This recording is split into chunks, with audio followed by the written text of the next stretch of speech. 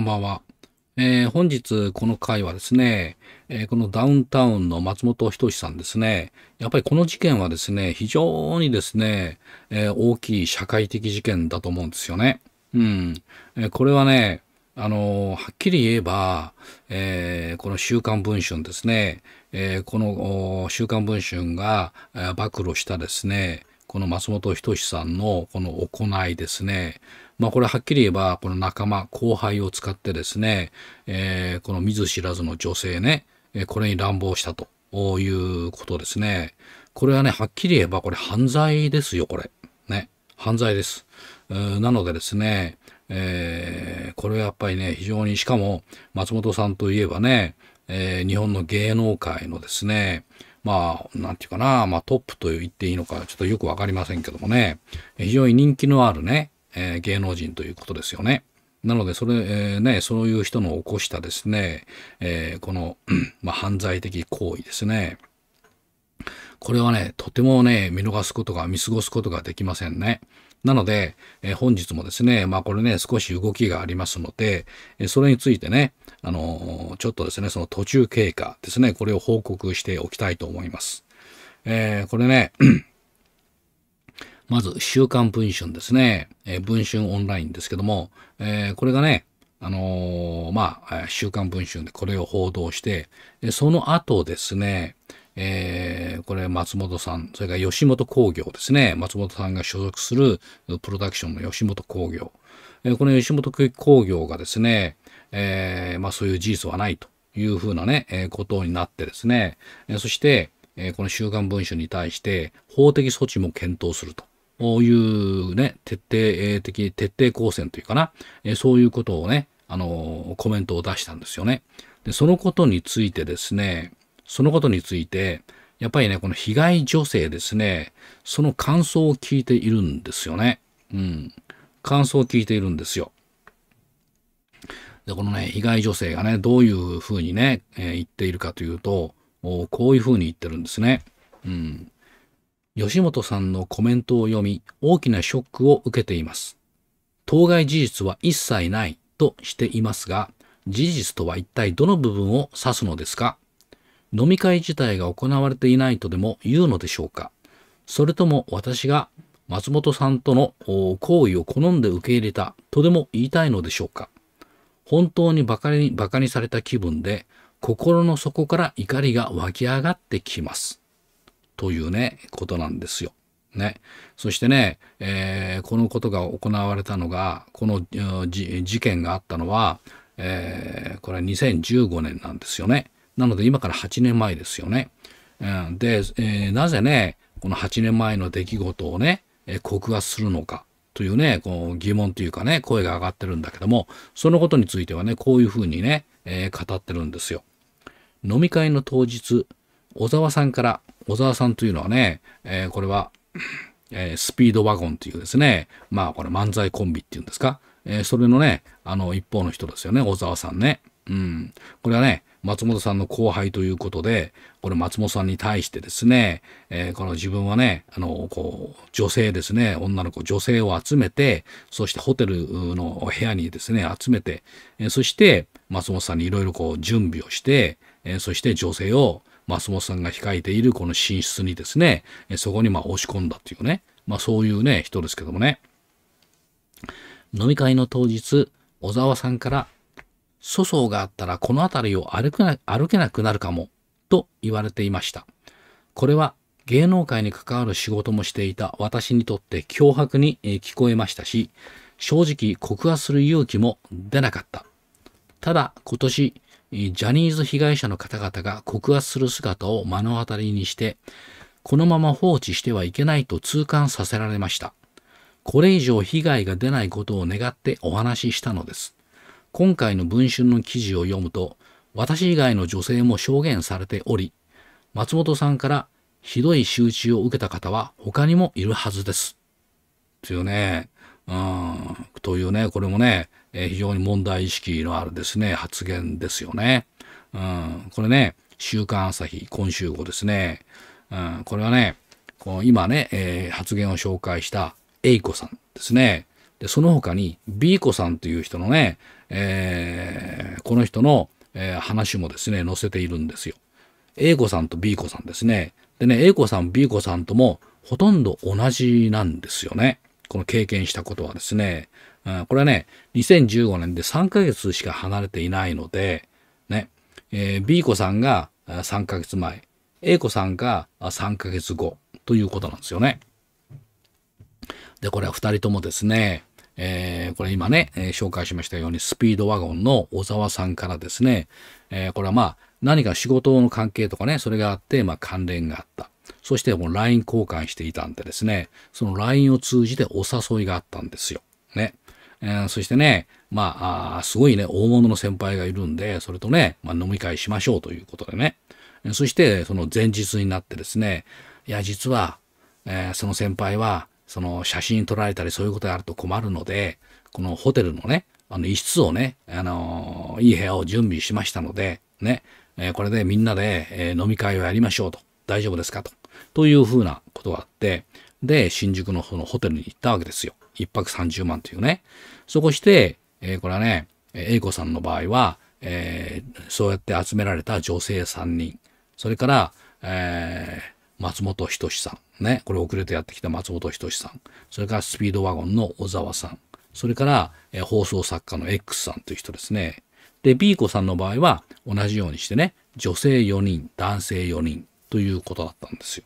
そして、えー、それがね、えー、A 子さんの場合3人なので、まあ、グーチョキパーを決めてですね、えそしてそのね、同じ組になった人、例えば男性のグーと女性のグー、それが、えー、1対1でお話ししましょうというね、えー、まあ不思議なゲームですね。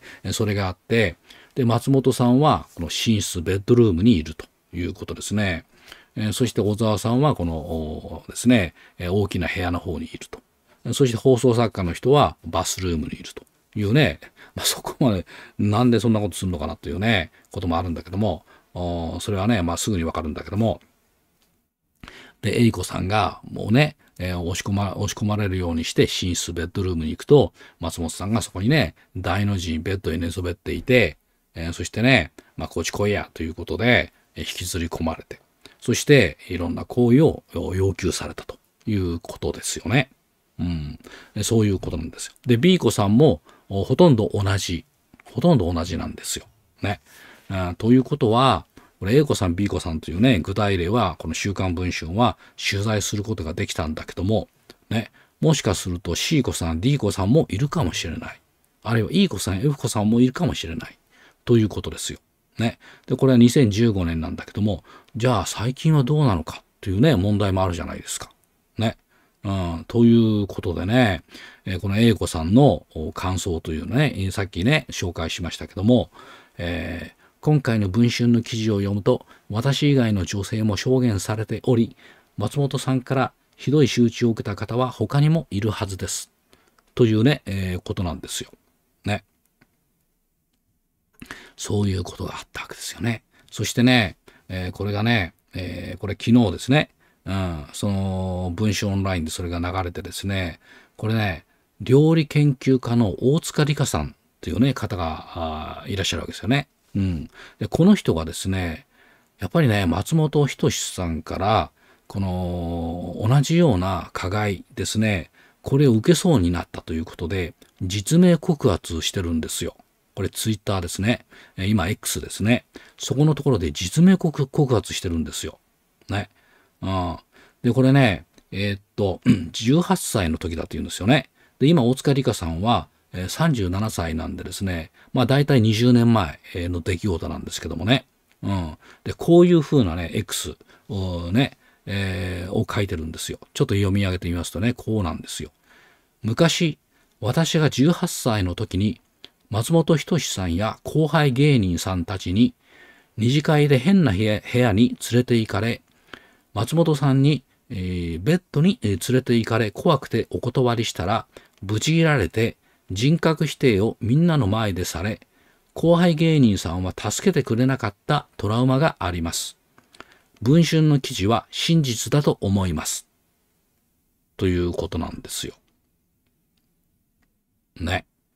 これね、なんていうかな。まあ、約20年前じゃないですか。ね。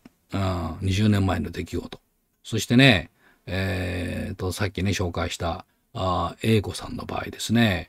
うん、英子さんの場合。これは8年前ですよね。2015年。ということで、ああ、2015年、8年前ですね。こういう風に発展してきたのかと。つまりその原型というかな、その前の形が、えー、このね、大塚理香さんが、えー、受けたですね、受けそうになった、こういう状況を作ったのかということですね。うん。えー、つまりこれね、え、まあ、飲み会みたいなあったんでしょうね。で、二次会で変な部屋、変な部屋ってどういう部屋かよくわかんないんだけども、あある部屋に連れて行かれて、そして、えー、松本さんに、ね、えー、ベッドに連れて行かれて、ね、えー、そしてね、まあ何かされそうとしたんでしょうね。で、怖くてお断りしたら、ブチギレられて、ね、人格否定をみんなの前でされたということですよ。ね。で、後輩芸人たちは助けてくれなかったと。そういうトラウマがあるということですね。これはだから、原型じゃないですか。ね。うん、原型ですよ。そういうことですよ。ね。うん。ね。そしてね、えー、これはね、昨日ちょっと紹介したんだけども、えー、そういうことと同時にですよ、今ネットでね、流れているのは、えー、これね、松本さんがね、車の中で待っていて、ね、えー、そして他のね、後輩芸人が、えー、こ路上でね、歩いてくる女性たちをこの口説いてですね、そして、えー、承諾したっていうかな、うなずいた人を、うなずいた女性が松本さんがね、えー、待機しているこの車の中に乗り込んでいったということですね。うん。まあ、というようなことで、だんだん発展していったのかなっていうね、ことがね、わかりますよね。うん。形がね。で、最終的に、まあ、最終的かどうかわかんないけども、この8年前の携帯ですよね。うん。新宿のね、この超一流ホテル。この部屋で、えー、そういうね、ことを行ったということですよ。ね。そうするとこれね、どうなんでしょうか。ね。えー、今暴露されましたけどもね、週刊文春によって。そうすると、現在ってのはどうなっていたんですかね。うん、これもちろんね、僕はわかりませんけどもね。うん、そういうようなね、ことはね、あのー、推測されるわけなんですよ。ね。で、そうかと思うとね、まあいろんなね、話が出てきてるんだけどもね、え出てき始めているんですよ。これがね、12月28日、ね、昨日ですけど、それの女性自身ですね、これはね、こういう記事を出してるんですよ。えっ、とね、これはね、剣道小林さんですね。えー、いわゆる、いわいわゆるっていうかな、ケンコバさんっていうね、あの、これはまあ、人気タレントですよね。うん。その人がね、ちょっと意味深なことをね 言ってるということなんですよね。うん。どういうことかというと、えっ、ー、とね、MBS ラジオで、えー、これ12月20日ですね、放送があったんですよ。これね、タイトルね、あっぱれやってます。水曜日っていうね、まあ、いかにもラジオ番組っぽいね、名前なんですけどね。うん。そこにね、えケンコバとですね、お笑いコンビのアンガールズですね。まあこのね、背が高くてね、ほっそりした 方々ですよね。それから、えー、AKB48 ですか？ね。それの村山、なんていうのかな？あや、あやきさんっていうもんですかね。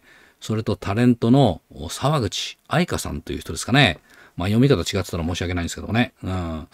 で、えー、そういう方々が出てですね、いろいろと、まあ、所属事務所の話題とかね、そういう話題に花が咲いたんですよ。ね。そしてね、ホリプロに所属しているね、この沢口愛香さんがですね、えー、この小沢さんですね、さっき紹介したこのスピードワゴンの小沢さんね、この人のことについてね、思い出してですね、えー、同じ事務所の人に全然会わないんだけども、あ、スピードワゴンの小沢さんにお会いしましたっていうふうに言ったわけなんですよ。ね。で、小沢さんの話題に移ったんですよね。うん。で、これがね、要するに12月20日放送じゃないですか。ね。で、文春オンラインが出たのが12月26日ですよ。ね。その前に流れたラジオ放送なんですよね。で、そうするとね、まあいろいろとね、まあ小沢さんのこととかね、えー、このスピードワゴンのこととか、そういう話題をね、ひとしきり喋ってね、そしてね、えー、おもむろにね、えー、っとね、ケンコバさんがね、えー、っと、ケンコバさんじゃ最初ね、アンガールズの田中さんがね、こういうね、まあこれね、まあ軽い気持ちでね、えー、この沢口さんに聞いたわけなんですよ。どういうこと聞いたかというと、小沢、小沢、小沢さんの誕生日会に呼ばれたらどうする？っていうね。まあ、それ質問自体はどうってことないけどもね。沢口さんが、え？早く帰れる予定を組み込むかもしれないと笑いながらね、えー、答えたんですよ。ね。まあこれはまあなんてことないかなっていう気がするんだけども、その後ね、ケンコバさんがね、ちょっとね、えー、ちょっと聞くと、やばい、やばいアドバイスをしてるんですよね。どういうことを言ってるかってこういう、こういう風なアドバイスを送ったんですよ。小沢もすげえいい人で、人と壁作らへんし、ピュアなやつやけど、誕生日会だけはいかん方がいいよ。なんか芸能界の闇みたいな感じやから。なんか、売れてないモデルとかアイドルとか200人ぐらい参加する。とかね、言ったんですよ。いや、これもすごい話じゃないですか。ね。売れてないモデルとかアイドル、アイドルとか200人ぐらい参加するって、これそれだけでもすごい話じゃないですか。ね。そして、このね、誕生日会だけはいかん方がいいよ。なんか芸能界の闇みたいな感じやからっていうね。これちょっと穏やかじゃないですよね。うん。芸能界の闇ってなんかね、ブルブルっときちゃうような気もしますよね。うん。ね。これはね、小沢さん、どういう人なん人なのかなと思っちゃいますよね。うん。非常に危ない感じがしますよね。でね、健康場さんはね、その後こういう風に続けてるんですよ。誕生日以外は小沢いいやつや、いいやつやないんけど、誕生日、誕生日の時だけ、あれ？こいつ闇臭いなって思う。という風に言ってね、気ぃつけてくださいね。という風にね、言ってるんですよ。これね、これラジオ聞いていた人は何と思思ったでしょうかね、これね。うん。これはね、うん、まあ今、今となってはですよ、週刊文春ね、記事を我々読んでるんでですね、あ、スピードワゴンの小沢さんという人はこういうことやってんだと。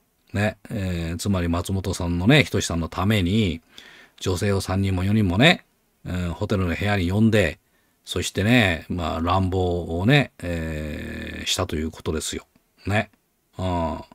で、その前にラジオ放送でケンコバさんが、ね、小沢さんの誕生日は行かない方がいいぞと。ね。あれで芸能界のね、闇みたいなことになるからっていうね、ことですよ、これ。非常にやばいじゃないですか、これ。ね。で、これが、えー、このラジオ放送のね、このことがですね、話題を呼んでるわけですよ。ね。ケンコバってすごいなと。ね。うん、これ何を知っていたんだろうと、何を言いたかったんだろうということですよね。うん。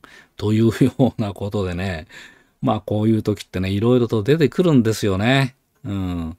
出てくるんですよ。ね。うん。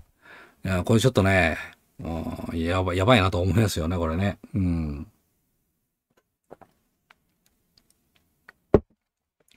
ね。ちょっとね、想像はつきな、つかないですよね。売れてないね、モデルとかアイドルとか200人参加する。そして、えー、それが芸能界の闇みたいな感じを持つっていうね。これはね、ちょっと怖いですね、これね。これ怖いですね。ほんと怖いですね、これね。うん。えっ、ー、と、そしてね、えー、っと、これはね、えー、トースポで出ているんだけども、僕もすぐに確認しましたけどもね、松本人志さんがですね、えー、28日、つまり昨日ですね、えー、このね、このスキャンダルが報じられて、えー、その後初めてね、自分のツイッター X ですね、X を更新したんですよ。新しい X ね、えー、これをポストしたっていうことですよね。うん。えー、っとね、昨日の夜の10時52分ですね、どういう中身の投稿をしたかというと、いつ辞めてもいいと思ってたんやけど、やる気が出てきたなっていうね、そういう投稿なんですよね。うん。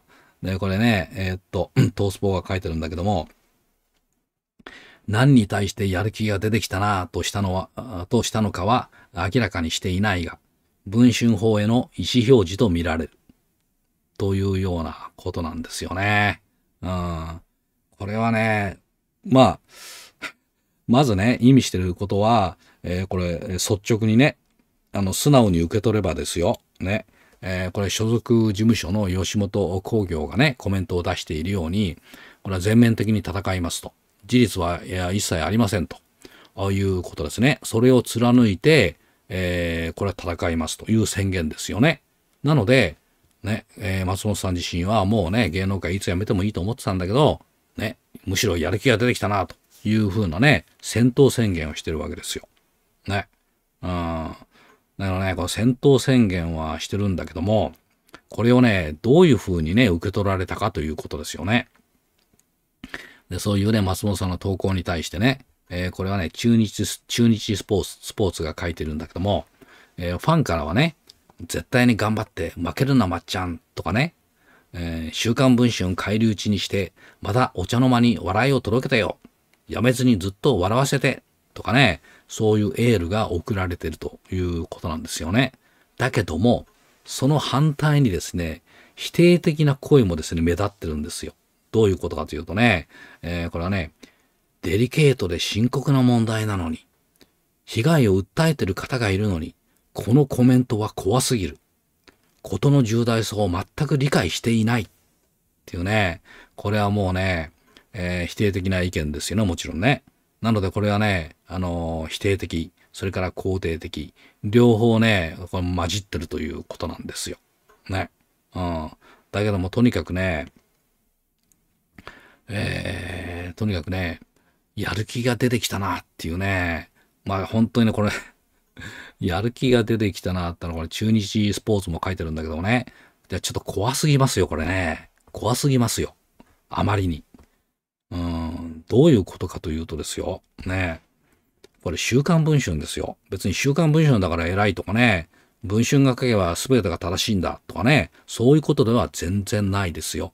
だけど、僕の経験からしてですね、ジャーナリストとしてのですよ。ね。うん。文春が書いてることで、ね。あのー、なんていうかな。こういう勝負に出た、出る記事ってあるじゃないですか。勝負に出た、出た記事ね。うん。それでね、間違えることはないですよ。ね。うん。例えば最近の例で言えばね、木原事件であるとかね。うん。あるいは宝塚もそうかな。宝塚ですね。うん。そういうね、勝負に出てる記事で、間違えてることはないですよ。ね。間違えた部分はあったとしても、ね。えー、これ、木原事件でね、僕一つだけちょっとね、あのー、ね、亡くなった安田種夫さんのね、えー、体内に残っていた、この覚醒剤のね、この残量ですね。え、これがね、え、この分量について、ちょっと、文春はね、間違えていました。そのことはね、後で確認しましたけども、それ以外は何も間違えてないですよ。ね。なので、大きいですね、概略というかな。大きい事件そのもの。それはね、全然間違えてないですよ。ね。そうすると、えー、この松本人志さんのこの事件もですね、これはね、間違えてないですよ。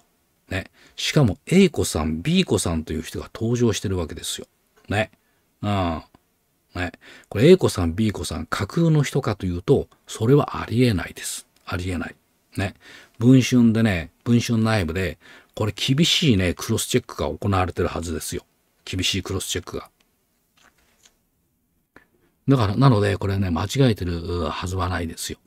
ね。それなのに、ですよ。で、そういう事実はありませんという全面否定。プラス、松本さん、やる気が出てきたなってね。これね、怖いですね、これね。これ怖いです。怖いですね。うん。ね。怖いですね。これはね、しかしこういうことはね、言うべきじゃないかもしれないけれども、まあ、松本さんというとね、まあ、吉本全体がそうなんだと思うんだけども、ね、生前の安倍さんとね、こう、親しかったじゃないですか。ね。そしてね、松本さんと安倍さんのね、この記念写真っていうかな、まあ、一緒に写ってる写真とかね、あの、結構出てますよね。うん。で、それをね、見るたびにね、どうなのかなと僕は思いましたね。で、今でも、今、まさにね、すごく思いますよ。何を思うかっていうと、まあ、安倍さんというとね、えー、これ、文春の見出しでね、えー、有名だったんだけども、ね、えー、嘘は安倍晋三の始まりっていうね、ことがあるじゃないですか。ね。我々もよくわかってるわけですよ。ね。もう本当に嘘を突き通してきたなと。ね。ということですよね。なのでですね、えー、そういうこともね、なんていうかな、あの、まあ、共通してんのかなっていうね、気がしないでもないですよね。うん。つまり松本さんは、ね、これ文春書いてあることは、これはもうね、あの僕は否定できないと思いますよ。まあ否定してますけど、要するにそれをね、事実を覆すことはできないと思いますよ。ね。うん。でそういうことに関してやる気が出てきたなっていうのはね、これはちょっとね、世の中勘違いしてんじゃないかなと思いますね。うん。えつまり、このね、まあ松本さんというとね、この、まあ相方の浜田さんも含めてね、まあすごいね、トップスターじゃないですか。お笑い界のね、トップスター。芸能界の。ね。うんで、結構若いうちにトップスターになりましたよね。うん。だから、この社会についてですね、あるいは人間関係について、ね、えー、このフラットな人間関係、あるいはこの社会のありのままの姿、それについて、この学ばないうちにですね、あるいは深く学ば学ばないうちに、非常にちやほやされる地位についてしまったと。いうことがね、言えるんじゃないかと思うんですよね。